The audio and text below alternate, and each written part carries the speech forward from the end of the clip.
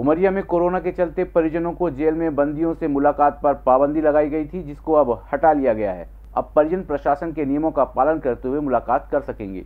आठ महीने बाद जेल में बंदियों की परिजनों से मुलाकात के लिए जेल प्रशासन ने खासी तैयारियाँ की हैं। बंदी से मिलने अब सिर्फ़ दो ही परिजन आ सकेंगे, जिन्हें जेल परिसर में प्रवेश कराते ही हैंड सैनिटाइज व मास्क का प्रयोग करना होगा, जिसके बाद उन्हें इंटरकॉल रूम में प्रवेश दिया जाएगा, जहाँ से एक और बंदी दूसरी और परिजन फ़ोन के माध्यम से एक दूसरे से बात कर सकेंगे, जिसके लिए 15 मिनट की समय सीमा तय की गई है।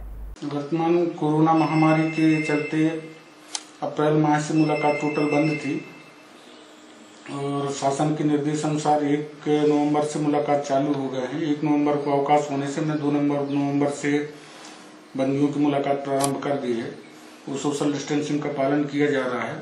कोरोना संक्रमण के बचाव के लिए हम प्रत्येक आने वाले व्यक्तियों के लिए हाथ धोने की व्यवस्था सर्वप्रथम सैनिटाइजर मास्क अनिवार्य किए हुए हैं और मुलाकात व्यवस्था एक समय में दो आदमियों को ही शासन के निर्देशानुसार अधिकृत कर रहे हैं।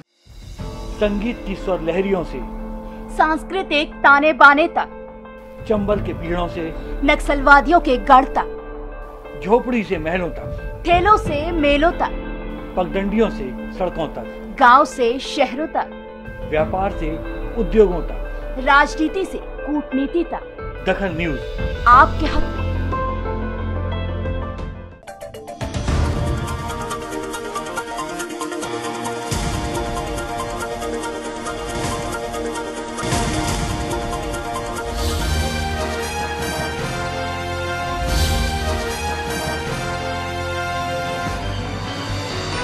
आप देख रहे हैं दखल न्यूज़।